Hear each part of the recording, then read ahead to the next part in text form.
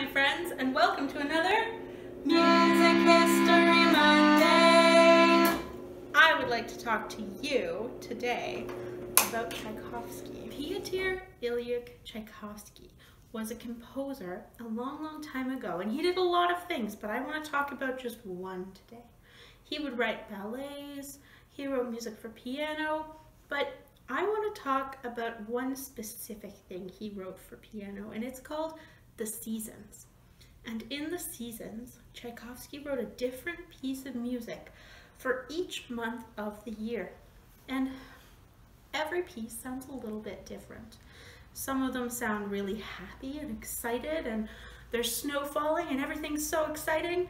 And some of them sound kind of sad, like all the leaves are turning brown and it's getting colder out. And I wonder if you know any songs that make you feel a different way or remind you of a different season or time of year.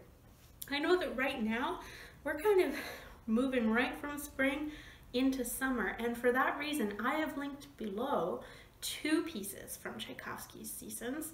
I have listed May and June and I want you to tell me what is the difference between the two.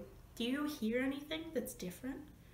Do you know any songs that really sound like May or really sound like June to you? Is there anything that really, really reminds you of this time of year or of a different time of year? I want you to think about that this week and I want you to see if the piece of music that you're working on reminds you of anything at all.